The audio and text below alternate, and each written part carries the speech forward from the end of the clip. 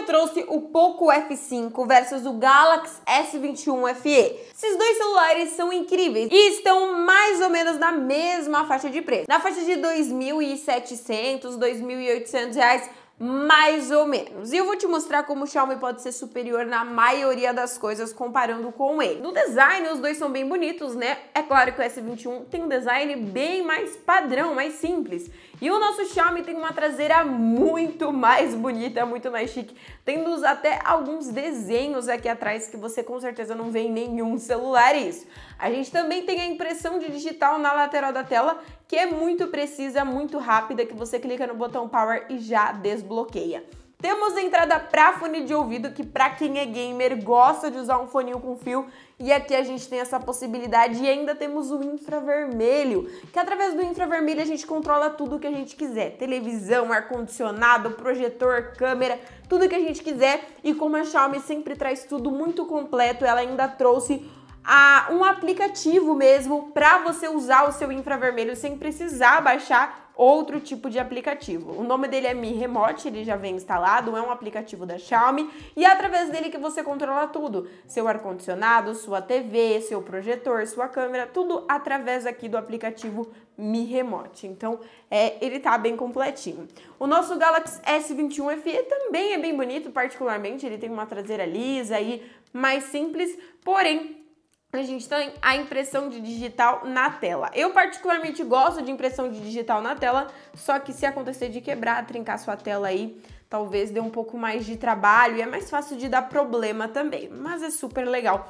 E aqui a gente não tem entrada para fone de ouvido, obviamente, porque a gente tem a certificação IP 68 aqui. O IP68 é a máxima proteção contra água e poeira. Então, isso é um ponto que o S21FE fica na frente do nosso Xiaomi, mas é a única coisa. O nosso Xiaomi tem uma tela de 6.67 polegadas AMOLED e o nosso S21FE é uma tela de 6.4 polegadas AMOLED Full HD Plus as duas telas. Então o que vai mudar é o tamanho, porque a tecnologia é a mesma nos dois. As duas telas são AMOLEDs, que é uma das melhores tecnologias de tela aí pra gente usar em 2023, 2024, porque são telas que têm economia de bateria e qualidade de imagem superior a muitos outros smartphones. Para você ter uma ideia, essas telas são melhores do que a tela do iPhone 11, que tá aí 3 mil reais. Então essa tela, essas duas telas estão bem legais e as duas telas têm a mesma taxa de atualização, que é de 120 Hz. Então são telas extremamente fluidas,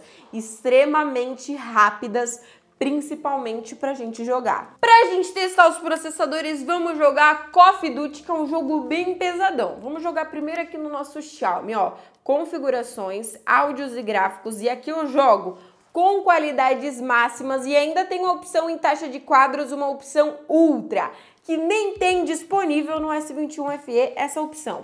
Obviamente vai rodar liso, porque o processador dele é simplesmente o Snapdragon 7 Plus Gen 2 com 8 de memória RAM. Então você tem uma tela extremamente rápida, você tem um processador extremamente potente aqui nas suas mãos. Para você ter uma ideia, esse processador passou iPhone 11, iPhone 12, iPhone 13, iPhone 14. É um processador aí hiper potente, batendo uma potência gigantesca, pegando potência aí, pegando processadores, na verdade, aí batendo de frente com processadores de celular de 6, 7 mil reais. Então, potência a gente tem aqui no nosso Poco F5 e com certeza também é um ponto forte ter uma bateria tão grande quanto a dele, que é uma bateria de 5000 mAh que vai durar o dia inteirinho. Para você ter uma ideia, ó, do que é que eu tô falando. Agora eu tenho 98% de bateria. Vou entrar aqui nas minhas configurações, bateria, e me restam 24 horas e 30 minutos de bateria com 98% de bateria. Então você tá ligado que não é pouca coisa não, é muita coisa e também a memória RAM aqui tá em dia, né? Você viu a velocidade que eu tive para entrar e sair do jogo. E com certeza o Poco F5 é melhor do que o S21 FE em games, porque o S21 ele tem uma potência incrível, é um processador hiperpotente com um processador fortão. Só que não adianta ele ter uma enorme potência e esquentar. Ele é um processador conhecido como o esquentadinho, porque ele esquenta simplesmente em 5 minutos que você tá jogando, ele já vira uma bola de fogo na sua mão. Essa parte aqui de trás, ó, fica pegando fogo. Então isso é um ponto hiper negativo. Mas olha as qualidades que a gente consegue jogar nele, vamos jogar nele mesmo assim. Aí você me fala: "Ah, eu não ligo do S21 FE esquentar. Por mim pode esquentar, eu continuo jogando". Beleza, você pode até não se importar. Só que a segunda coisa que acontece depois de esquentar é travar.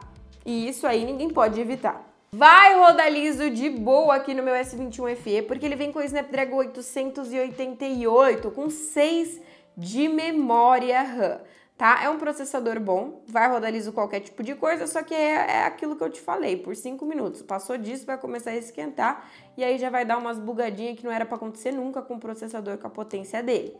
Para você entender melhor sobre a potência dos processadores e o que é que eu tô falando, a gente fez o teste no Antutu Benchmark nos dois. A gente mede a pontuação, quanto mais alta, melhor. O nosso, nosso S21 FE tem uma pontuação aí de 765 mil pontos. E o nosso, e o nosso Xiaomi tá batendo aí 969, quase um milhão de pontos. Então não temos dúvida que o nosso Xiaomi é a melhor opção em games com toda certeza. E também o, o, S21 FE tem uma bateria um pouquinho menor, ele tem umas horinhas a menos, que a bateria dele é de 4.500 mAh. Nos dois a gente tem um conjunto com três lentes traseiras. A padrão do S21 FE é de 12 megapixels. A padrão do nosso Xiaomi é de 64.